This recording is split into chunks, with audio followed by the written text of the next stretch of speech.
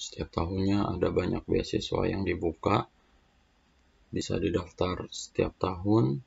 Nah di video ini menjelaskan tentang bagaimana mendapatkan beasiswa itu syarat-syaratnya juga tentang timeline dari setiap beasiswa. Oke,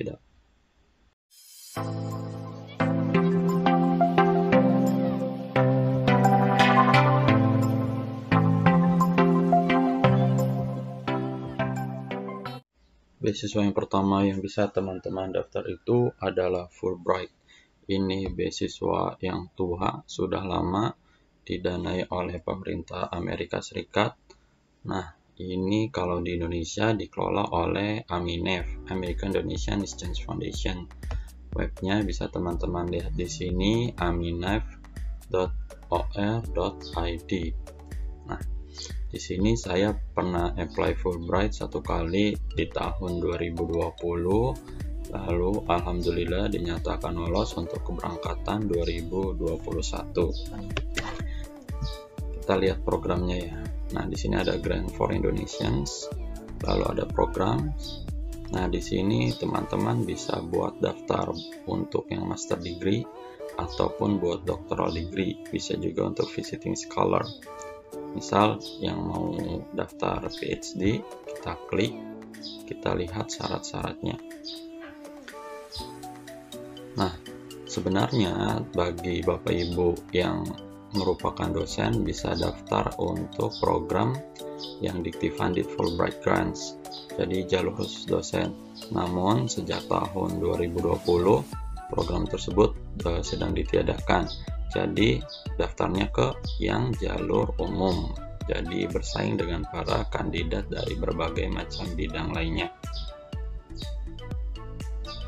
Nah kemudian syarat-syaratnya bisa dilihat di sini. Ada megang master eh, IPK-nya ha, hampir semua beasiswa internasional itu nggak minta IPK IPK yang melejit. Standar 3,0 atau di bawahnya malah. Lalu ada ITP ataupun IELTS Nah, pengalaman saya saat itu pakai yang TOEFL ITB. Walaupun juga misalnya teman-teman nanti punya IELTS, tetap harus nanti jika lulus diminta untuk belajar dan ambil TOEFL IBT. Semua pendanaan baik itu biaya mau biaya tesnya maupun biaya pelatihannya itu di cover oleh pihak Fulbright. Nah, sisanya Nah, juga ada yang harus dicantumin juga nih ada application form. Application formnya bisa di download di web ini juga. Lalu ada hasil skor ITP atau IELTS nya lalu surat rekomendasinya dua. Tapi nanti saat lulus diminta satu tambahan lagi. Jadi ada tiga surat rekomendasi. Kemudian ada uh, uh, fotokopi untuk uh, transkrip sama ijazahnya baik yang berbahasa Indonesia maupun yang berbahasa Inggris. Kalau kampus asalnya itu hanya berbahasa Indonesia harus diterjemahkan dulu ke dalam bahasa Inggris. Kedua, ijazah saya baik itu S1 maupun yang dari S2 diterjemahkan oleh penerjemah tersumpah. Juga dilampirkan fotokopi KTP ataupun paspor, juga kurikulum vitae. Nah, timelinenya setiap tahun tutup di bulan Maret tanggal 15 lalu sekitar bulan Maret nanti akan ada uh, screening applicationsnya. Nanti seleksi daripada wawancaranya di April lalu nanti lulus atau lulusnya yang shortlistnya itu di bulan Juni. Nanti kalau sudah terkumpul uh, berkas lamarannya itu bisa dikirim ke kantornya Minef yang ada di Sudirman, Jakarta, Intiland Tower. Peng, uh, beasiswa Fulbright ini adalah beasiswa dengan timeline terlama saat saya daftar di bulan Februari tanggal 13 tahun 2020 saat ini saat saya buat videonya tanggal 10 Mei 2021 sudah lebih dari satu tahun ini masih dalam proses pembuatan visa. Jadi belum berangkat ke Amerika. Nah nanti di sini ada download application formnya ya. Jadi teman-teman niat uh, MyPlay beasiswa ini ada form yang harus diisi. Mengenai beasiswa Fulbright ini sebenarnya ada batasan maksimal dana yang akan diterima oleh setiap grantinya yaitu sebesar 40.000 US dollar per tahun itu untuk semua biaya baik itu biaya hidup ataupun biaya untuk tuition fee ke kampusnya Nah, kampus di Amerika itu kan terkenal mahal-mahal ya. Bahkan nggak sedikit kampus yang tuition fee-nya aja 50.000 eh, US dollar per tahun. Sedangkan tadi saya sebutkan bahwa maksimum dananya itu 40.000 US dollar per tahun. Nah, minus dong. Namun walaupun ada maksimal dana, Fulbright ini yang dikelola oleh IIE, nanti IIE itu akan membantu kita untuk proses nego ke pihak kampus agar kampus itu memberikan cost sharing. Jadi nanti kampus mengurangi uh, biaya entah tuition fee atau mengasih beasiswa full sehingga walaupun dana untuk kuliah di kampus itu lebih dari 40.000 US dollar per tahun kita bisa tetap kuliah di kampus tersebut. Juga bisa tetap dapat dana untuk tunjangan hidup perharinya. Lalu tunjangan hidupnya berapa? Kasusnya beda-beda. Ada yang dapat 1320 US dollar ada yang dapat 2000 sekian, ada yang 1800. Nah, ini tergantung dari state-nya masing-masing adanya di uh, kampusnya itu ada di state mana. Saat dinyatakan lulus uh, menjadi grantee nanti untuk bapak-bapak dan ibu-ibu yang apply PhD bisa memilih 5 kampus nanti lima kampusnya akan dibantukan oleh pihak IIE untuk di submit ke kampus-kampus tersebut. Kalau teman-teman yang mau daftar uh, di program master milihnya empat kampus. Nah demikian itu program perihal beasiswa Fulbright jika mau kepo lebih jauh lagi kembali ke webnya yang aminf.org.id beasiswa selanjutnya yang sangat recommended yaitu Australian Awards webnya teman-teman bisa lihat di Australian Award Australia Awards Indonesia.org nah di sini lalu ada long term award dan short term awards untuk long term award bisa dilihat tentang long term awardnya Nah, di sini karena untuk kasus COVID, kalau teman-teman ini ada prioritas nih. Ya, mau tahu prioritasnya, kita klik yang share di sini. Nah, untuk kasus COVID, kalau teman-teman berasal dari jurusan-jurusan yang disebutkan di sini seperti kesehatan, terus ada yang pendidikan, HRD, hubungan internasional, hukum, uh, dan lain-lain sebagainya bisa dilihat di sini. Nah, ini akan memperbesar peluang untuk diterima di beasiswa Australian Award ini ini beasiswa lama beasiswa terkenal yang diincar oleh banyak orang-orang di Indonesia. Lalu untuk syaratnya apa aja? Nah di sini kita bisa lihat general requirements-nya. Kita klik kemudian di sini ada syarat-syaratnya tuh bisa dilihat.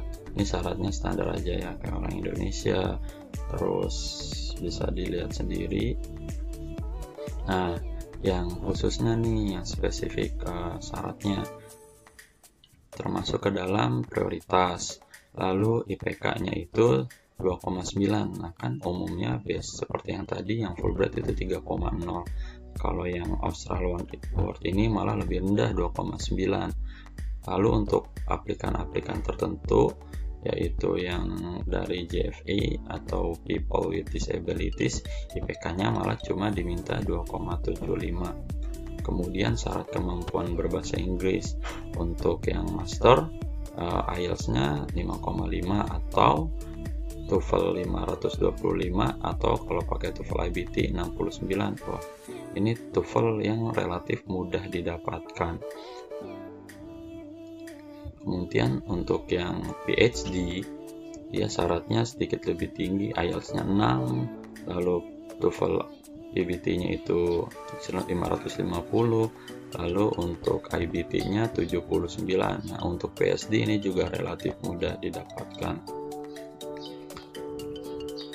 Nah lalu juga IELTS TOEFL sama PT Academic-nya juga harus yang terbaru Nah, kapan terbarunya itu? Yaitu didapatkan pada 30 April tahun 2029. Itu yang paling lama.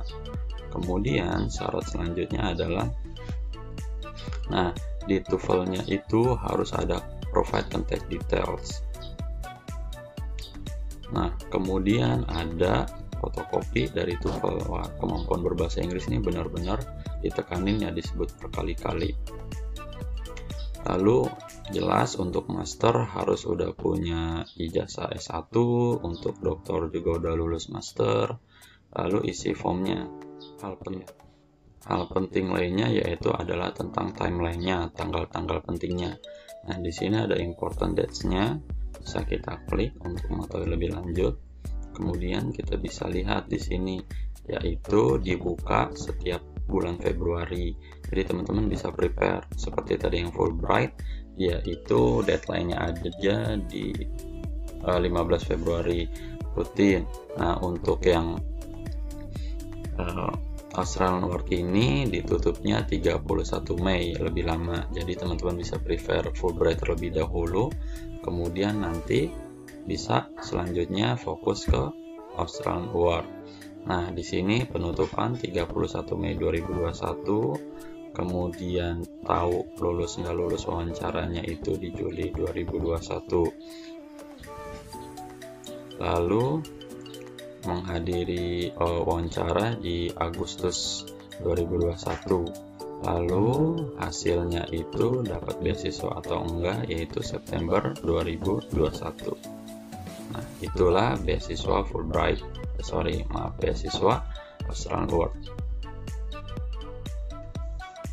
Lantas yang perlu diperhatikan jika mau daftar Australian Award ini adalah di Australian Award ini ada yang namanya targeting of awards. Ada pihak-pihak tertentu yang mendapat prioritas siapakah mereka. Nah di sini targetednya siapa? Yang targetednya itu adalah orang-orang atau kandidat pelamar yang berasal dari Aceh, eh, NTT, NTB, Papua, Papua Barat, Maluku, juga Maluku Utara. Selain itu juga partnernya embassy juga orang yang kerja di pemerintahan. Nah, itu adalah targeted. Sedangkan yang tidak termasuk targeted itu kayak yang kerja di swasta, akademisi, uh, dan lain sebagainya. Jadi untuk Australian Award, ringkasannya adalah tujuan negaranya jelas ke Australia, bisa didaftar, didaftarkan uh, mulai dari tanggal 1 Februari sampai 31 Mei Lantas TOEFL ITP yang dibutuhkan 525 untuk master, 550 untuk PhD. Kalau pakai IELTS 5,5 untuk master, 6 untuk PhD. TOEFL IBT 69 untuk master, 79 untuk PhD. IPK-nya 2,9 atau bisa juga dengan 2,75 untuk daerah-daerah prioritas atau juga yang disabilitas. Lalu syarat lain ada targeted kategori yaitu para pelamar yang berasal dari Aceh, NTT, NTB, Papua, Papua Barat, Maluku, juga Maluku Utara. Selain itu, pegawai pemerintah termasuk ke dalam targeted kategori.